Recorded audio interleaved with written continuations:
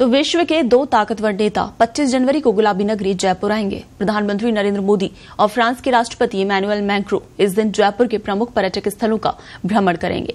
दोनों नेता जयपुर में रोड शो करेंगे। इस दौरान बीजेपी की ओर से उनका भव्य और यादगार स्वागत किया जाएगा। देश के पिचहत्तरवें गणतंत्र दिवस पर इस बार फ्रांस के राष्ट्रपति इमैनुअल मैक्रो विशिष्ट अतिथि रहेंगे। इससे पहले 25 जनवरी को मैक्रो जयपुर भ्रमण पर रहेंगे। मैक्रो के स्वागत के लिए प्रधानमंत्री नरेंद्र मोदी जयपुर आएँगे। फ्रांसीसी राष्ट्रपति मैक्रो जयपुर में शाही भोज, आमेर, हवा महल और जंतर मंतर आदि पर्यटन स्थलों का विज़िट करेंगे।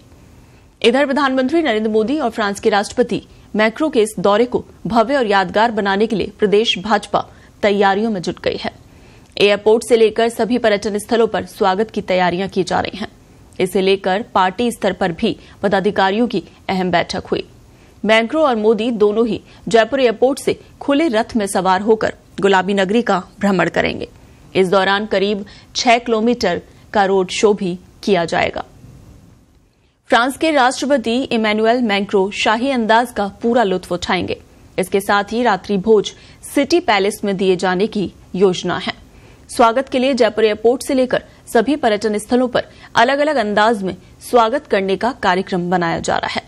खास बात यह है कि इस स्वागत सत्कार में राजस्थानी कला संस्कृति की झलकियाँ दिखाई देंगी। बीजेपी प्रदेश अध्यक्ष सीपी जोशी ने कहा कि 25 जनवरी को देश के प्रधानमंत्री नरेंद्र मोदी राजस्थान की वीर धरा पर आ रहे हैं। हम सब लोगों का सौभाग्य है कि कुछ दिनों पहले ही प्रधानमंत्री नरेंद्र मोदी दो दिन तीन रात यहाँ गुजार कर गए। अब एक बार फिर राजस्थान को ये सौभाग्य मिल रहा है। जोशी ने कहा कि मोदी के आने पर एक भव्य स्वागत कार्यक्रम होगा, क्योंकि पिछली बार पीएम मोदी का दौरा सरकारी कार्यक्रम होने की वजह से उनका स्वागत सत्कार प्रदेश की जनता नहीं कर पाई थी। लेकिन इस बार प्रयास करेंगे कि समय मिले और उनका दिव्य और भव्य स्वागत करें।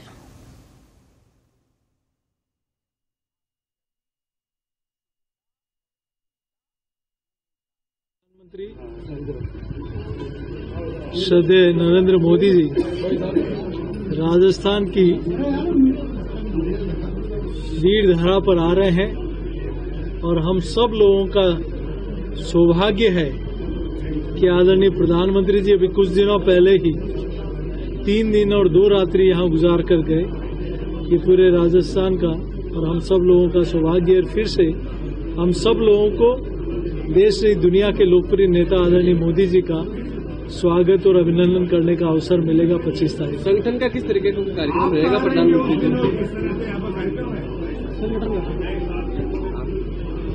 इसका जल्दी एक प्रोग्राम आपको देंगे और मैं सोचता हूँ एक भव्य स्वागत कार्यक्रम चूँकि